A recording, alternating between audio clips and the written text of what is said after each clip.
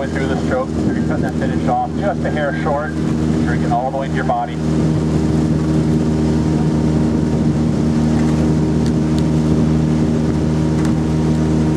All right, both boats. Make sure we're accelerating into that finish also. Looks a little bit, a little bit uh, stagnant the second half of the drive. Let's make sure we're picking up the pace, picking up that handle speed as we come to our bodies.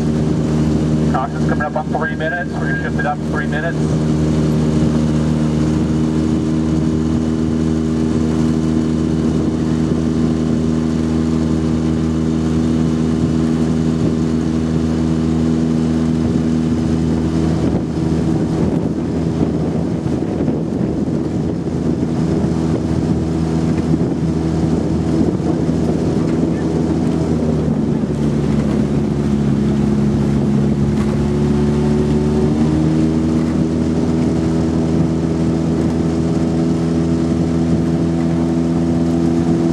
Danny, let's get the hands away a little bit quicker. Cutting off that, a little bit slow, having to rush a little bit to catch up. And the way off the finish.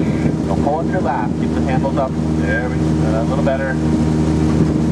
Danny comes, yeah, washing out here still. That's a little better.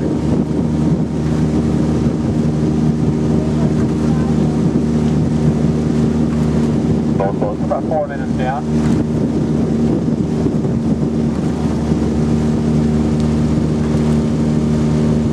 Shawna, a little bit of rush. Shawna, easy on that recovery. Get the hands body out a little bit quicker, Shawna, so you don't have to rush the slide.